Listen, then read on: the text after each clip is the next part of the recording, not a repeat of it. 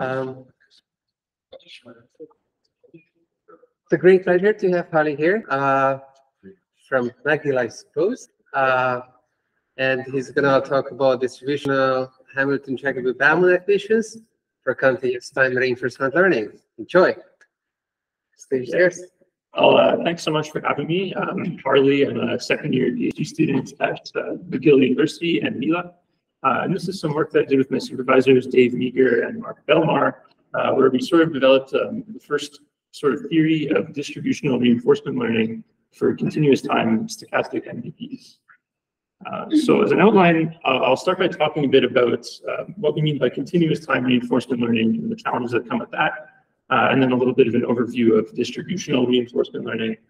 Um, and then this, the, we'll then talk about sort of why it's actually non-trivial to, to combine these two settings uh, and uh, techniques in RL, um, and then move on to our what we call distributional HJB equations, which characterize the distribution over returns uh, that you would achieve from a policy in a continuous time stochastic MDP. And finally, we'll talk about how we can sort of attractively uh, represent and solve these equations in a computer. So imagine we have this um, beautiful uh, inverted pendulum cart pole system, uh, and we want to swing up the pendulum and balance it upright. Uh, and one concept that's not often discussed in RL is sort of how frequently we could observe the state of the environment, um, and likewise how frequently we could actually send a control signal to the system. So you can imagine if your control frequency is low enough, for example, uh, let's say this frequency omega, it might be actually impossible to balance the pendulum, right? Like in an extreme case, if you could only send an action every 10 seconds, um, you know, pretty naturally you shouldn't be able to control the pendulum. Um, so then you might demand uh, sort of like higher frequency controllers to, to sort of resolve this issue. Uh, and as you increase the frequency of your controller, you should expect that you should be able to get closer and closer to uh, having some control over the uh, pendulum until finally you might reach a fast enough frequency and you're able to balance the pendulum. Um, and at least if you're looking at just integer multiples of a given control frequency, you should expect that as you're getting higher and higher frequencies, you should expect more and more performance, or at least non-decreasing performance. Um, and so we should, you know, be interested in studying uh, how RL works as you get higher and higher control frequencies. Uh, because actually, as the control frequency tends to infinity, um, the sort of characterization of the value function fundamentally changes. So as the, the control frequency tends to infinity, um, this is what's called continuous time setting. Um, and now instead of having a Bellman equation that, uh, that governs the, the value function, we have what's called the HJB equation, which is a partial differential equation, um, which is now our characterization of the value function in this setting. Uh, but there's some um, important points to note about this equation uh, and some issues that we need to deal with in this setting that we would never really have to consider in discrete time.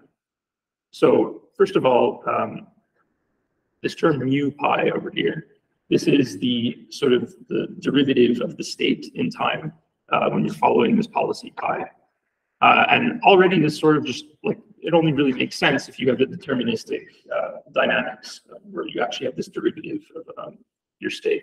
So this equation actually only holds for deterministic dynamics, and we'll see that um, when you have uh, stochastic dynamics, you end up with a fundamentally different equation yet again. Um, but even in this like maybe simple deterministic case, uh, there's another very subtle point that, that causes uh, some headaches, uh, and that is this gradient of the value function, uh, which is implicitly assuming that this gradient actually exists. Um, and it's actually very easy to find MDPs that are actually fairly natural, um, where this gradient would not exist, basically the value function is not differentiable. So you might expect, well, we'll need to find a sort of weaker notion of solution to this PDE.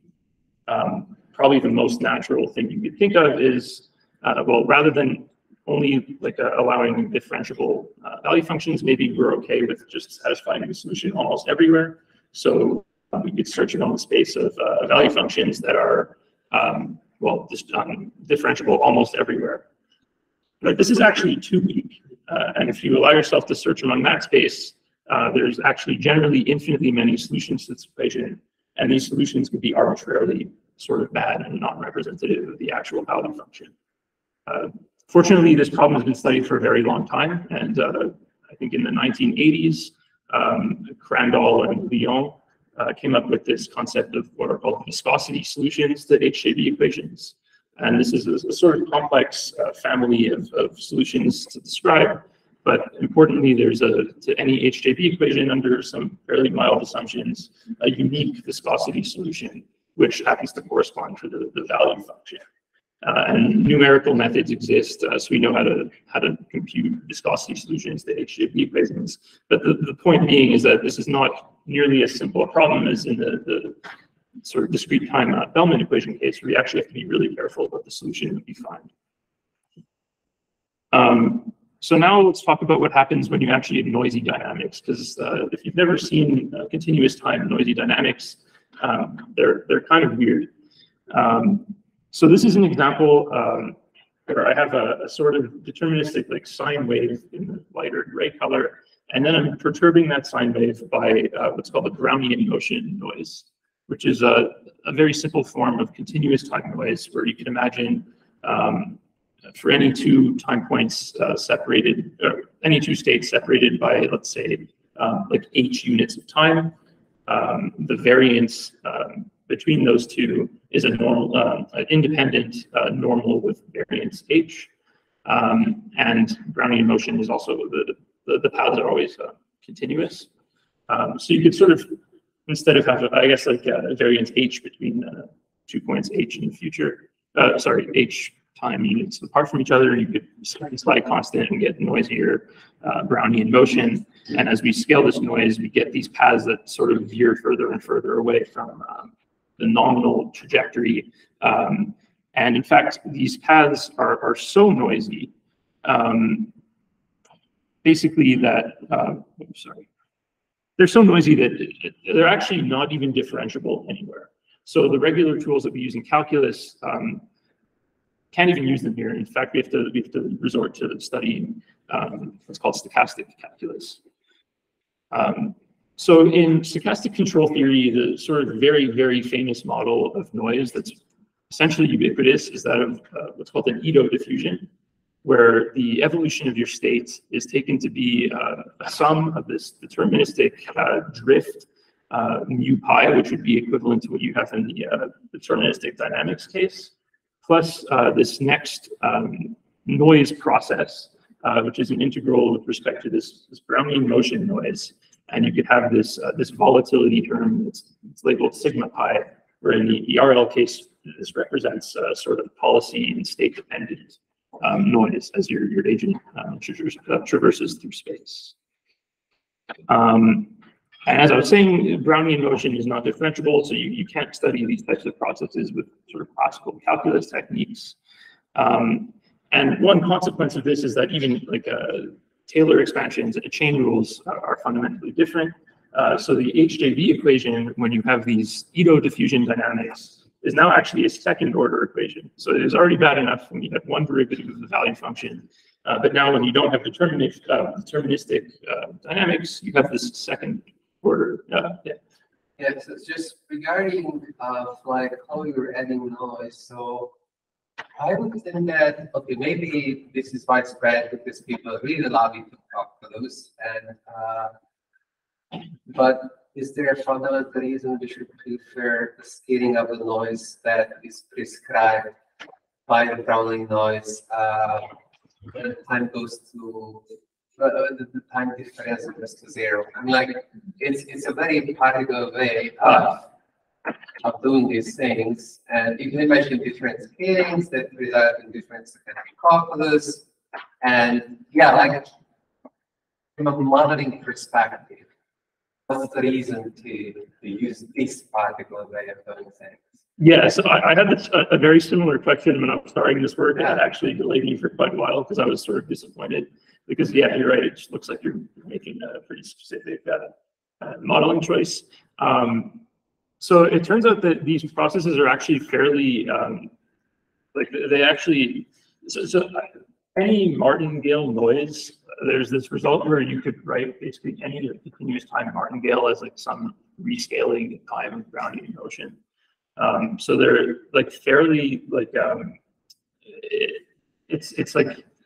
Uh, yeah. So there is a review characterization here.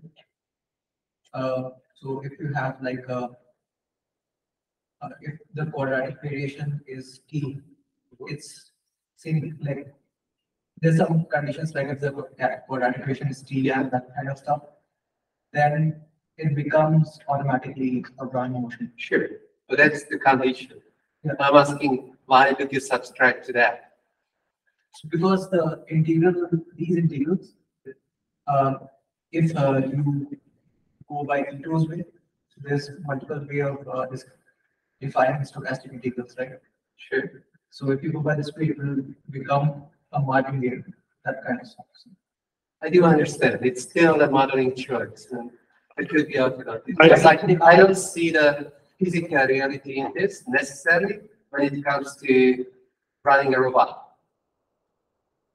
I, I, I, my, uh, my solution will actually be more general than just, uh, you know, diffusion. Okay. So, uh, yeah, uh, I think this, it just happens to be, there's like many convenient uh, mathematical properties. The Okay. integrals are well understood, but, uh, I will, uh, do a you more general. something you want to share. Yeah, That's good.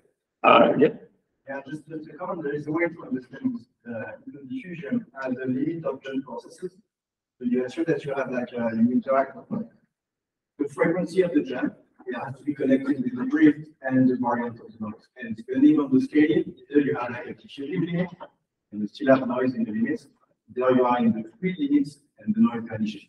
So it depends whether the variance scales inversely proportional with the frequency or square root of the frequency. You have different scaling that we need to different limits. But that's the way to explain what's happening with. I still don't understand that, I'm not sure whether this answers my question.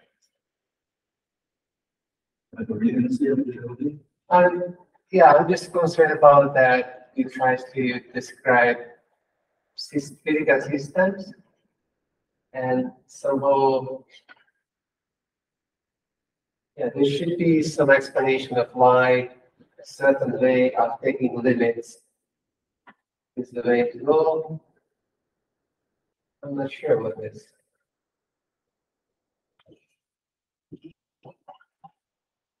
I guess maybe what happens is that, but maybe, maybe we can take this offline. It- It's a good, uh, discussion topic for some of the laws.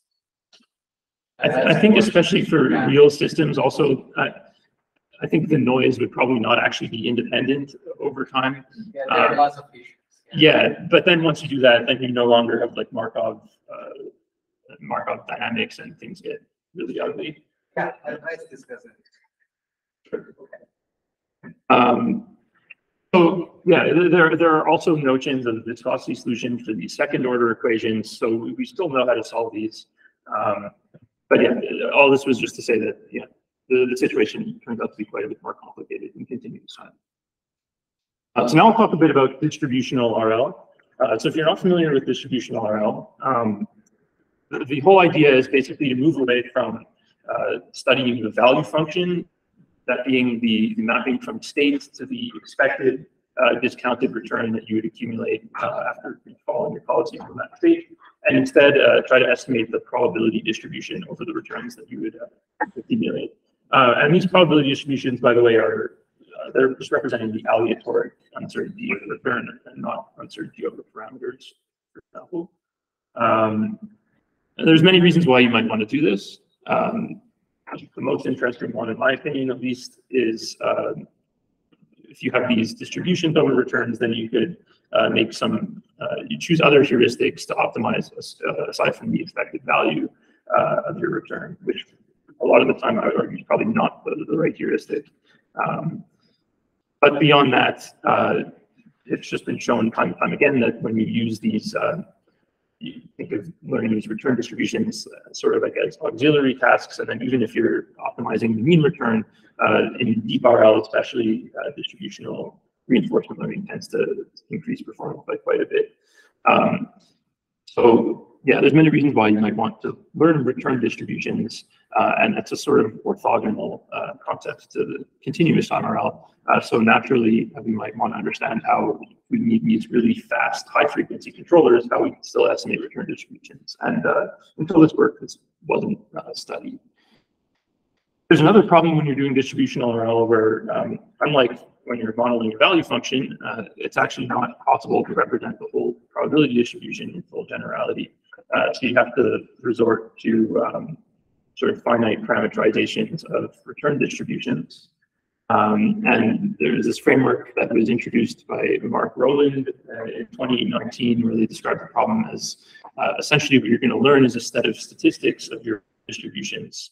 Uh, and then, you know, there, there's theory that describes how um, uh, sort of distributional Bellman operator, uh, how, the return distribution is a fixed point of a distributional Bellman operator. So you would do is take these statistics uh, for your return distributions, uh, use what they call an imputation strategy, which transforms these statistics into probability distributions, which you then um, do updates on with your distributional Bellman operator, and then extract the statistics back and store those in memory. And that's essentially how you uh, attractively uh, do distributional RL.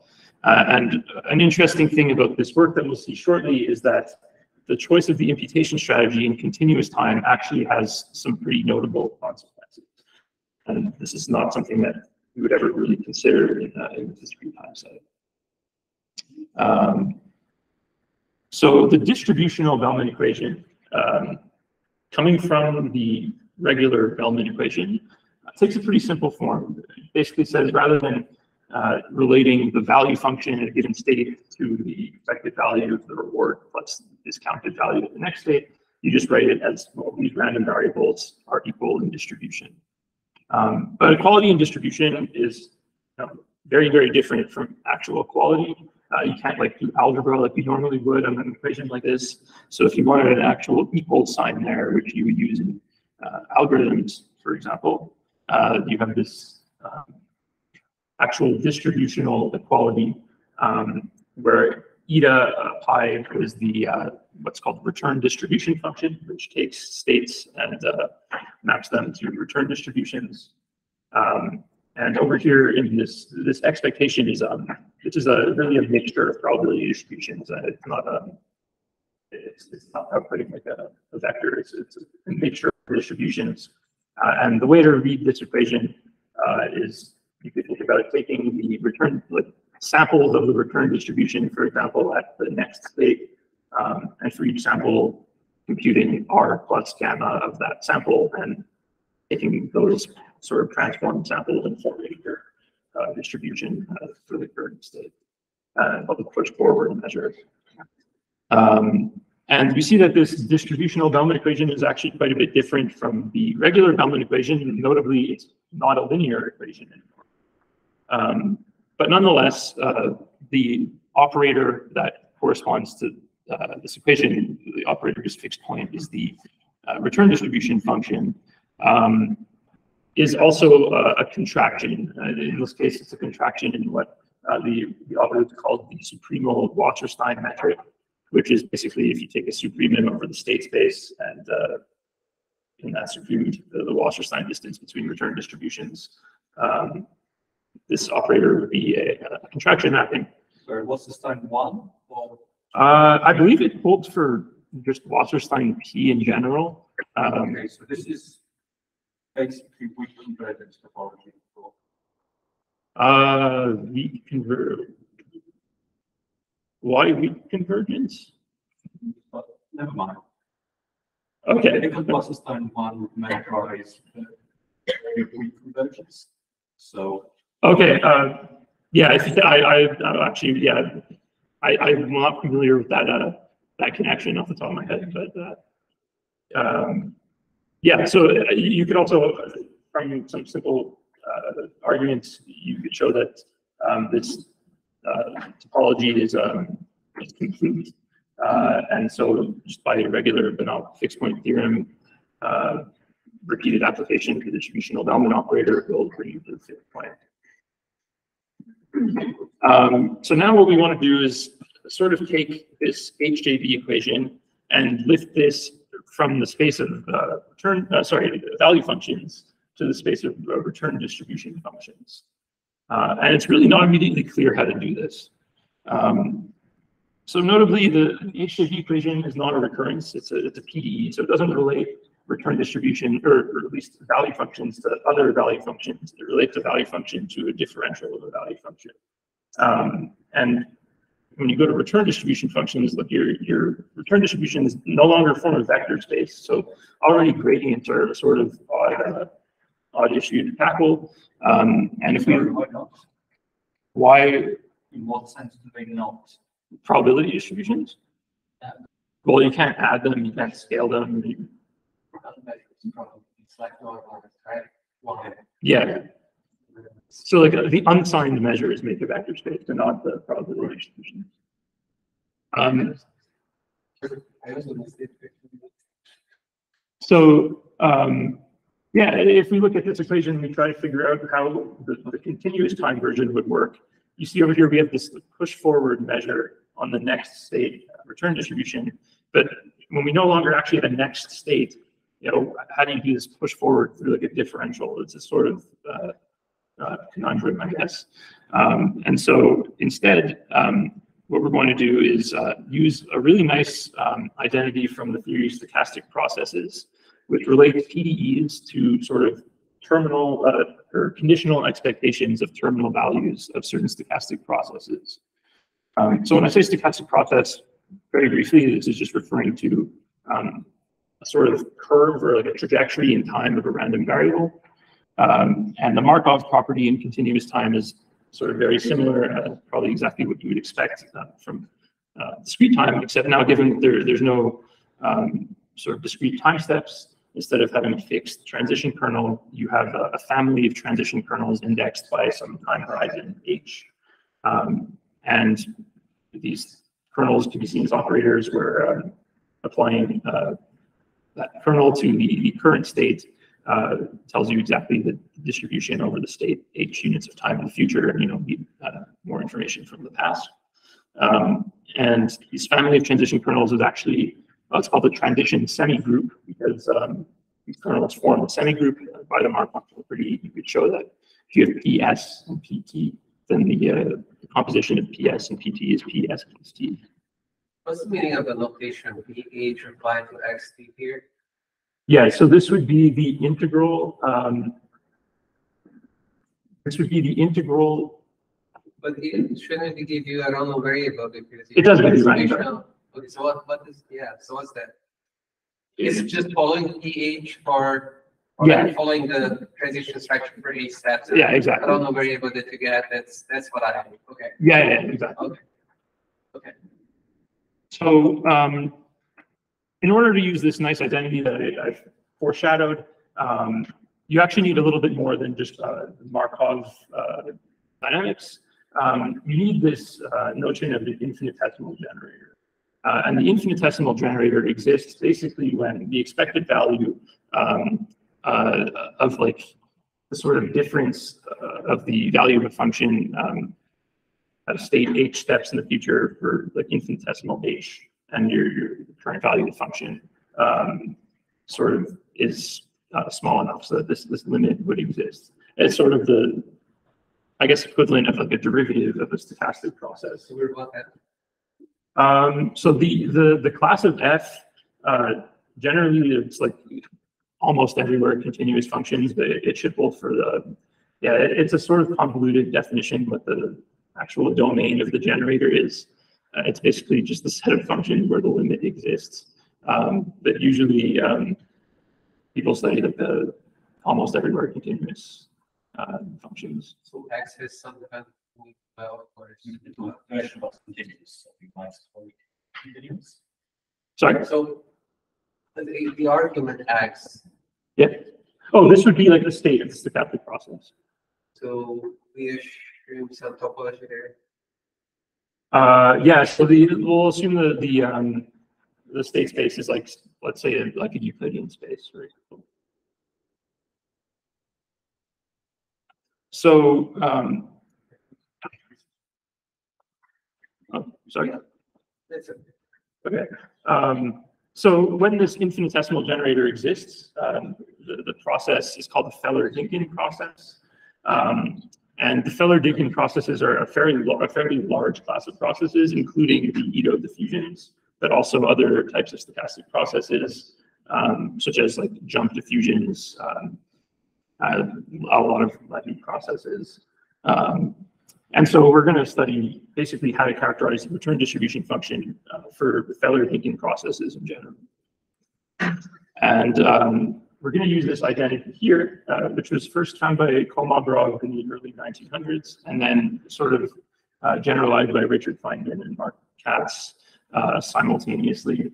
Um, and what this identity is saying is that if we have a, a Feller-Dynkin process x sub p, uh, as well as this um, this terminal uh, condition uh, characterized by its function psi, um, then the conditional expectation of the psi evaluated at the terminal uh, x um, conditioned on the value of the, state at time t.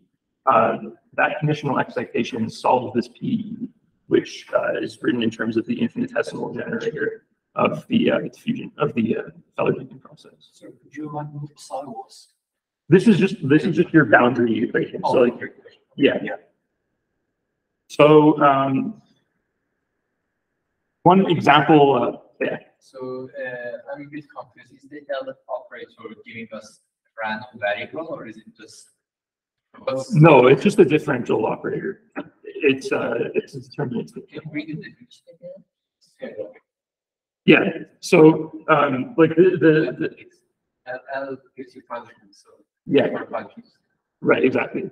So it's defined in terms of this expectation here, right? So it's, Yeah,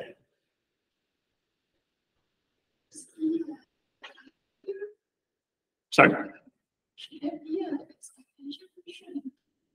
Yeah, there should. Yeah, th- what's random there? Uh, this, this shouldn't be random. Okay, so the expectation is not needed here. It's just pH applied to that times. pH, pH path, P- no, no, pH is the transitional characters. pH can be applied to path. You evaluate that X, that gives you a value, you subtract that X from it. No, but even if you put pH to a. Yeah, it's the, the net pH. Oh, because we define pH to be the random Yeah, segment yeah, yeah. rather than the usual Yeah. kernel operator. Okay. Okay, yeah. So That's like a mean continuity of the pH difference. Yes. Yeah, yeah, exactly. Is it usual definition? It uses that. Uh, does, does that answer the, que- like, does that answer the question? pH semantics was changed in the previous line to give you some random thing. So you take the expectation, then you get back the usual pH semantics. Yeah, Basically, this is what happened. yes. Yeah. Yeah, sorry about that. So can this be exactly defined just as mean continuity? Um, well, it's not continuity, it's more like differentiability. Yeah, Mean differentiability. yeah, Okay. Also, but so F, what is a function from what to what? uh, F could be uh, just a function on the state space to, from state to real. yeah, so the reals, let's say, yeah, State to real. yeah. Uh, I mean, I believe F could also just be a function to some vector space, but you- yeah, You, you won't need that. right, right, You're applying it to a function that has reals. Yeah. U is taking reals, right, or returning reals. yeah. Could you let us start this? Sorry? Next slide. Next slide. Can we just start this for thirty seconds, please? Yeah.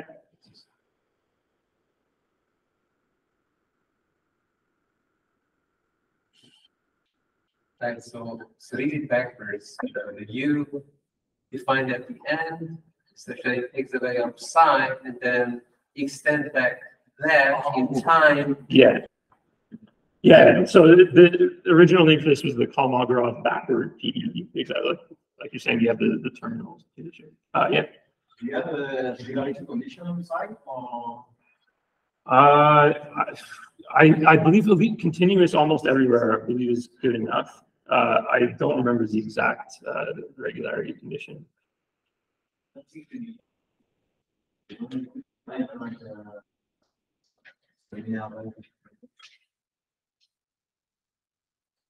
What was the question?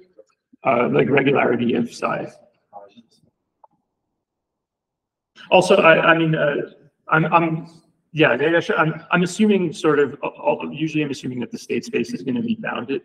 Um, so, uh, yeah, maybe, yeah, if you have like a unbounded state space, then maybe you need this extra uh, condition. Um, Please, you want the expectations to be valid by at least, but Yeah, yeah, usually have a growing condition with great expectation. right, right, right. it's a beautifully done. Um, so just as a, a very simple illustrative example of how this, uh, identity is used. Um, this equation over here is the heat equation, uh, where the, the delta represents the Laplacian operator, which, uh, Laplacian is the, the divergence of the gradient. Um, and so you could just rewrite this equation in the form of PDE before, uh, where right now the, the L would take the form of, uh, negative Laplacian. And the relevance here is that the negative Laplacian operator turns out to be exactly the infinitesimal generator of Brownian motion. Um, and so the idea is that um, to solve the heat equation, or at least to approximately solve the heat equation, you could essentially just do Monte Carlo uh, trajectories of Brownian motion. Um, this diagram is sort of exploiting the time reversibility property of Brownian motion, which lets you sort of replace the terminal uh, condition with an initial condition. And so these are just uh, samples of Brownian motion, and it demonstrates sort of how heat would uh, uh, disperse over time. Um, so our idea moving forward is we're going to try to find uh, a Feller-Dynkin process uh, x sub t and this terminal function psi, uh, so that the corresponding function u will in some sense encode the return distribution function.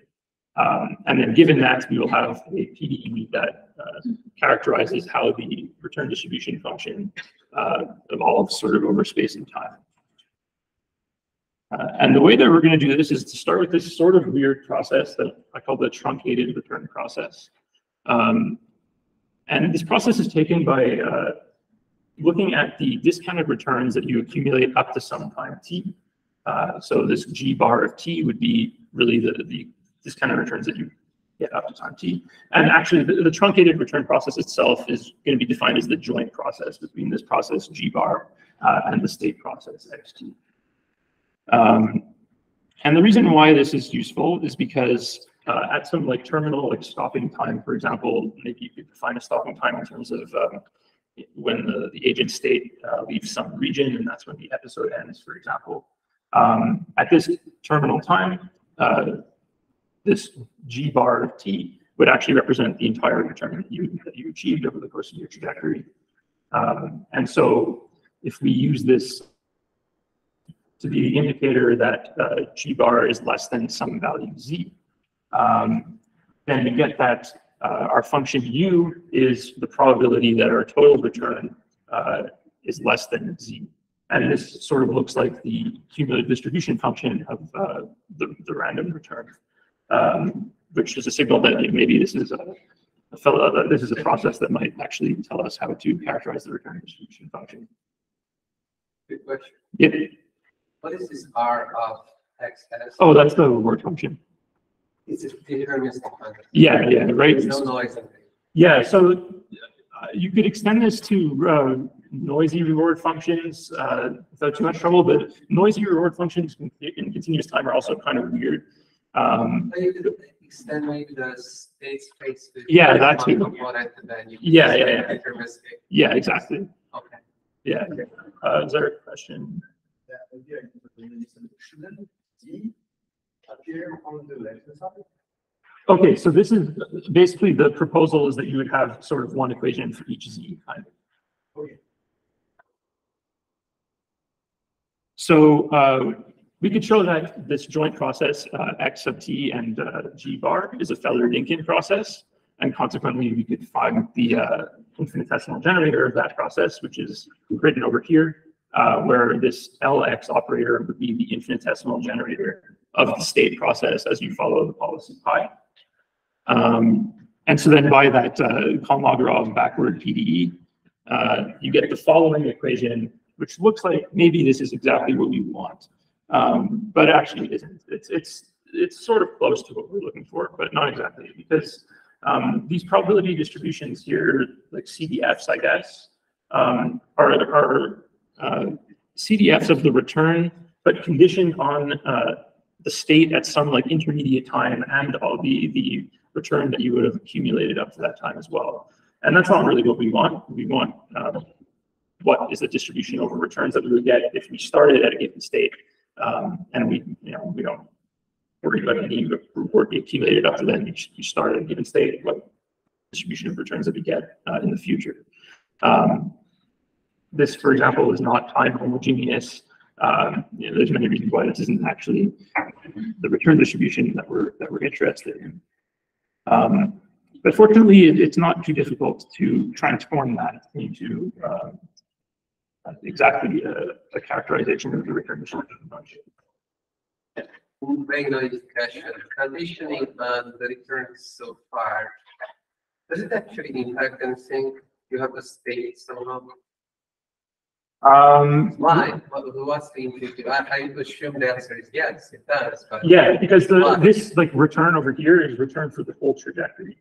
So, Ah, okay. yeah, Okay, you, you need to subtract. yeah, exactly. Yeah, that's, yeah, basically exactly. That's you. Yeah, but basically subtract it and do this, you know, divide by the discount factor. Um, yeah, uh, so this equation is actually not entirely precise because there should be some equality in distribution. Um, but uh, just for the purpose of intuition, uh, this is how we define this sort of transformed process, um, which we call a conditional backward return process, uh, where basically what we're doing is we're taking this z pi of x naught, which would be the return that you get over the course of an entire trajectory, and we're conditioning on that return being this value z. Um, and so for each of these z's, you get this, this process, which is defined by, uh, like Chava said, exactly, you subtract the return that you already accumulated, divided by this uh, discount. Um, and uh, this is what we call the conditional backward return. Um, and so this process, we also show as the Feller-Dynkin process. Uh, but I guess more interestingly, um, we show that uh, when you apply the infinitesimal generator of um, this Feller-Dynkin process, it is basically the, the um, annihilation operator of the CDF of the return distribution function. And so this is actually the characterization of return distribution functions for general Feller-Dynkin processes. Or at least it's almost there because this LJ operator is sort of opaque. Uh, we could expand that a little bit. Um, and this is the more clear, uh, what we call distributional HJB equation for Feller-Dynkin processes. Uh, so it bears like a, a, little bit of resemblance to the standard HJB equation. Um, but now instead of uh, having a, an equation on, on one variable, that being the state, uh, we have this equation on, uh, well, the state and the return that we're, uh, like the, that we're for the CDF. Um, and we have an extra differential uh, for the, you know, this second term over here. And so this equation is um, actually, this holds in, in the sense of distributions, um, where distributions is a sort of unfortunate uh, uh, naming collision where this is, I'm referring to distributions in the sense of like generalized functions here. Um, so it's basically saying that you involve uh, each side with like arbitrarily small um, uh, modifying kernels, basically um, the equation still holds. So, yeah. So two questions. So do we also know whether uh, if you solve this equation, let's say quantity or whatever, I don't know how, uh, you get back uh, what you wanted. So, um, so so far I think you were talking about that what this f like this like return distribution for this continuous time process satisfies this equation, but there is a reverse question. Yeah. You solve this equation to we get back the, the thing we wanted. And then previously you explained that you have to be careful with this. So yeah. I expect something's gonna. Yeah, that's a, that's a. yeah, so in, in general, no, but we're gonna get to that, uh, shortly, under some circumstances and parameterizations. Then maybe I just ask the other question, Yeah. which is that uh, for the HJB, uh, you're arguing that For the Brownian motion case, if you see Coccus, you have a second order term. I don't see a second order. Yeah. term. I'm kind of surprised. Should I be surprised? Yeah, the, the second order term is hidden in this, um, th- this LX operator there. which is- Yeah, yeah, yeah. Do that, do that. Yeah, and so actually, the next one, if you specialize those to Ito diffusions, uh, you have your second order term, uh, which looks a lot like the, the equation. I'm beating you on that. Um, okay, but now e- e- even if you wanted to try to solve these equations, basically, you know, the viscosity solution and all that, and these are the least of your concerns because you can't even represent this equation on, right? Um, so we have to re- reserve, uh, resort back to these, um, statistical functionals and imputation strategies to approximate, um, return distributions. So, um, basically, when you, once you plug in these sort of uh, fixed parameterization uh, distributions into the HJB equation, uh, the distributional HJB equation, um, the differential operators, uh, uh, when you pass these through your imputation strategy, you cause these extra terms to sort of pop out.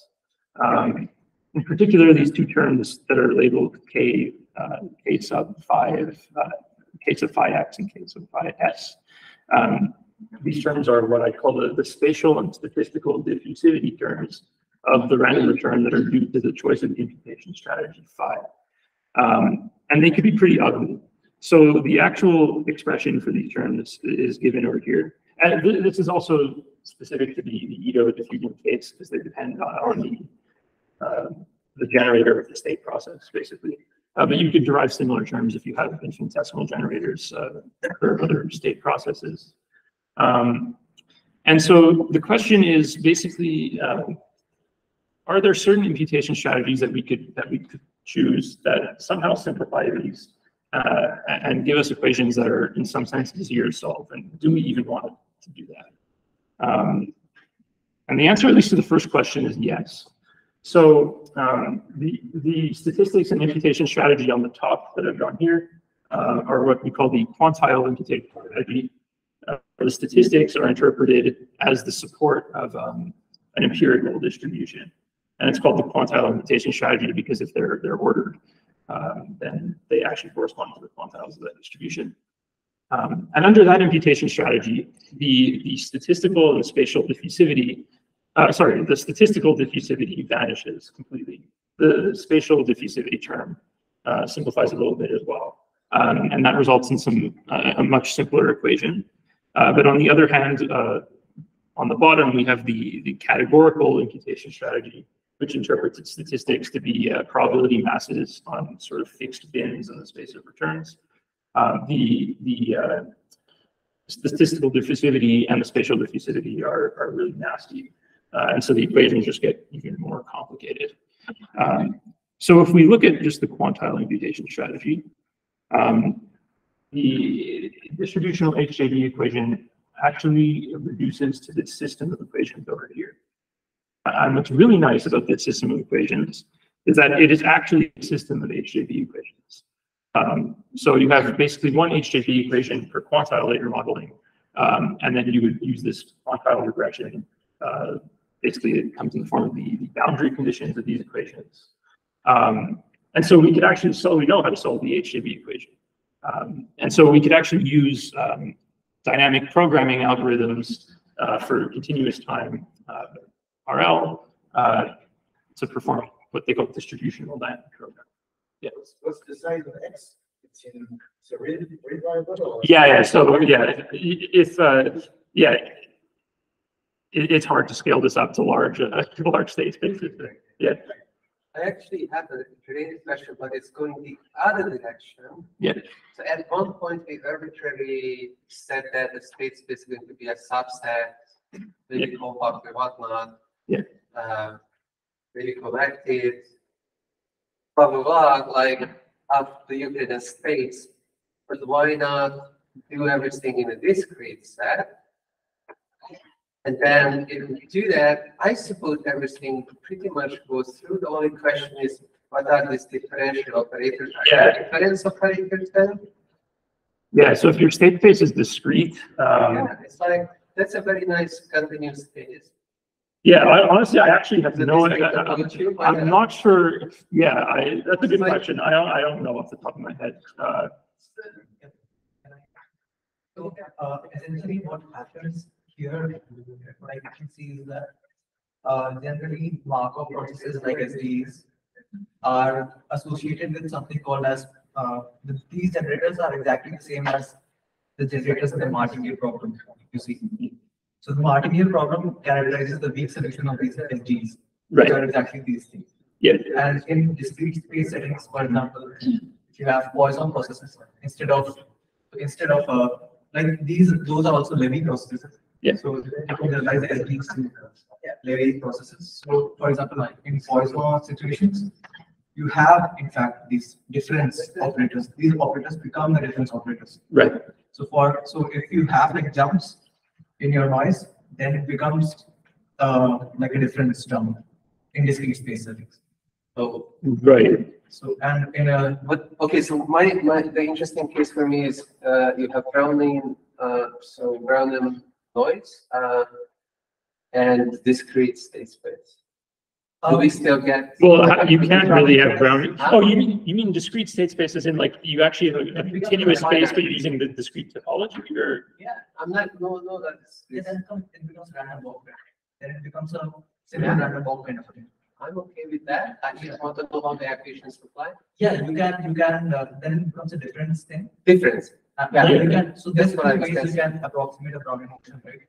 You can approximate it with respect to continuous time. And if, because like fast jumps can also approximate. Yeah. Fast, Oh, I see. So that there is the X, which is a continuous time process, but it needs to jump Yeah. between the discrete states. yeah, Right, yes. So you can approximate Brownian function using that as well. Instead of, instead of just jumping uh, in specific times, you can jump fast, like in exponential times, in discrete space. Like a Poisson process. yeah. I think this is what, uh, what Mark was was describing before as well. Like if you have discrete space and you are doing stuff on discrete space, Right. then your, the dBT term that you had in uh, SDs, it would become something like a, um, some jump term, D and, those are like D and T terms.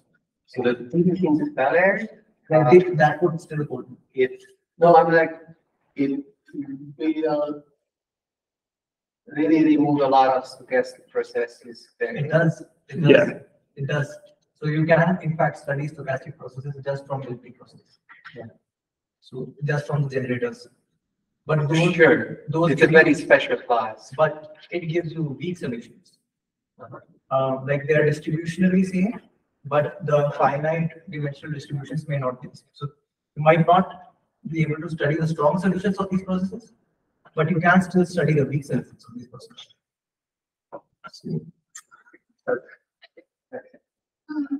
So if I just care about the return distribution of a single policy. Yeah. Is the problem mostly equivalent to uh, discrete one when I just consider P one like. I think, uh, Studying Oh, this is, but no, well, like I had some station analysis. Yeah. well, And I then consider discrete time. Then I would just have the normal, the normal discrete for the distribution. For the return distribution. uh, so I mean, if you have a discrete time, uh, Like if I just care about the return distribution of that time, then policy, yeah, then isn't it the space if I just consider not the con- for the time, for the time. yeah. For the moment, I just consider time one, time two, and then what I will have. this- You're, you're saying if you just have, you just care about the return distribution at the initial state, maybe?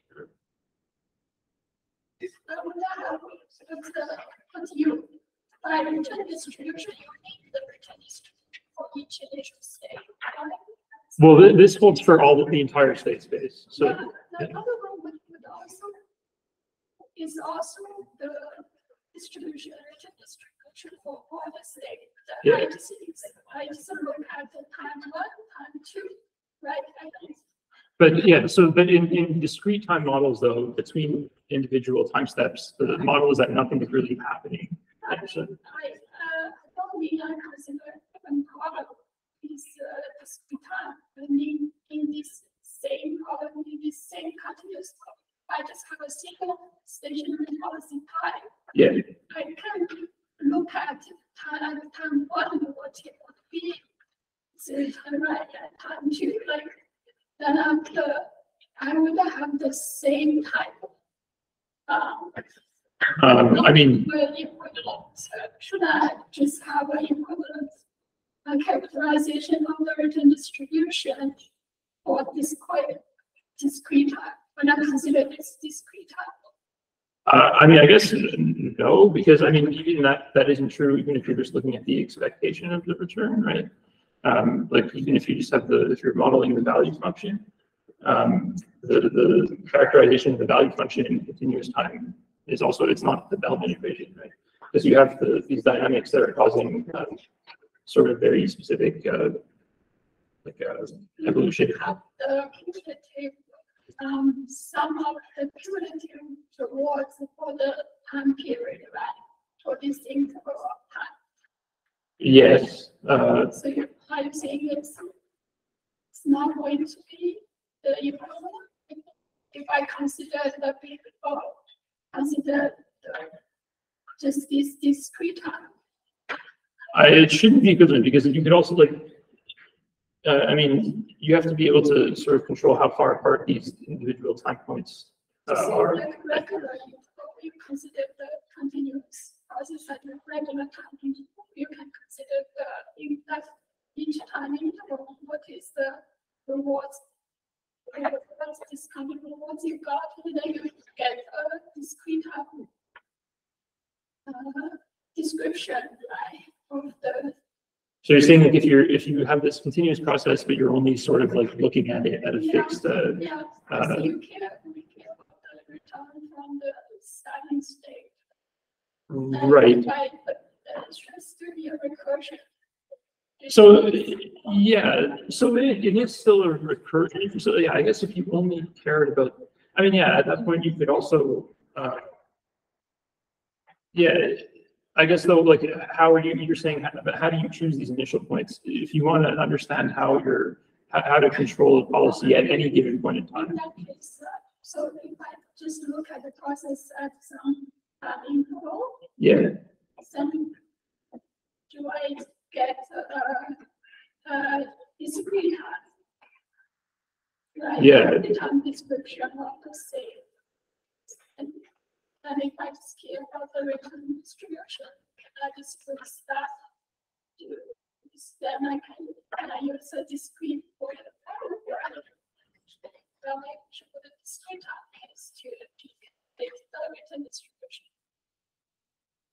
um, I guess that the trouble with that also is that So you're saying you would take, uh, basically the integral of rewards that you would achieve between your points and, and do that recursion.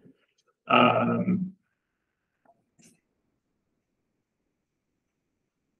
Yeah, that's a good question. I, I, I have to think about it. Um, So that would be good to see. but I mean, I think you're also like. But I mean, then you're also resorting to saying, well, we're only gonna be able to take action at this discrete, these discrete time intervals. Uh, which I is, think that is, a- that- that's just for fix the policy, I, you have a single stationary policy time.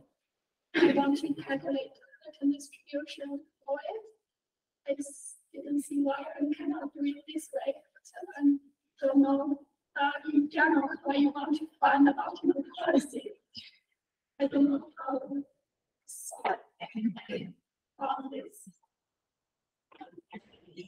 Um, yeah, maybe we can talk about it offline. I'm not, I'm not hundred percent sure I understand the question, but, um. Yeah, yeah, okay, yeah, sorry, I, I'll, I'll, I could, uh, talk about it offline. Um, anyway, yeah, I mean, I, I almost, uh, almost finished. Anyway, uh, we could, we could demonstrate, uh, by this very simple example that, uh, solving the distributional HJB equation actually computes the or more correct uh, return distribution functions than if you were to use uh, sort of discrete time uh, like distributional like TD learning algorithms. Uh, so this is just very a simple toy example that's uh, Yeah. just inspired by this problem that was suggested by Rémi Munos uh, for demonstrating how um, discrete time RL algorithms can fail to in a value function uh, uh, continuous time MDPs. So we have this particle in the interval zero one, uh, and the, the sort of derivative of its state is uh, equivalent exactly to the action that's input, uh, and the action is between minus one and one. And when it reaches the end of the interval, um, when it reaches the, state one, for example, it, it receives a reward sampled from this Gaussian um, of mean two.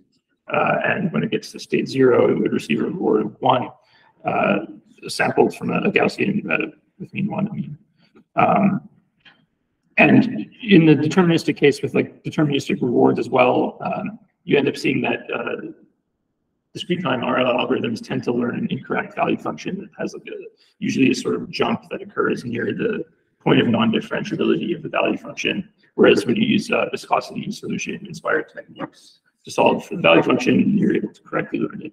And we show that basically the same behavior happens here with return distributions. So this is just an example of what the return distribution function should look like.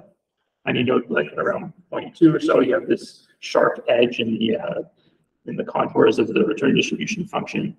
Um, and if you just apply a, a discrete time uh, quantile TD learning algorithm, uh, you have this very similar behavior to what you see in the expected value RL case uh, on, on this problem where you have this jump uh, and the whole probability mass sort of collapses in the middle of the state space. Um, but when you're solving the distributional HJB equation, you get a much nicer form that is actually at least accurately capturing uh, like the, the center of the, the uh, return distribution and it's maintaining uh, much better the actual probability mass. Uh, it's still not perfect. It still does lose some uh, probability mass or some variance, I should say, uh, towards the center. This is actually sort of uh, widely reported in distributional RL when you use these quantile representations. They tend to have trouble maintaining the, the variance. Uh, and perhaps this has to do with the, this is related to the fact that the statistical diffusivity of these uh, imputation strategies is zero. Um, you think that maybe this is an indication of why uh, quantile functions uh, tend to uh, have trouble capturing variance. But nonetheless, um, solving the distributional HJB equation in this problem uh, does a much better job of solving the problem than the discrete time uh, quantile to be working. Um, and that's all. Thank you so much for uh, for sticking around.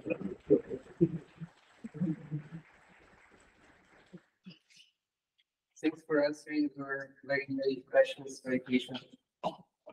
They were naive.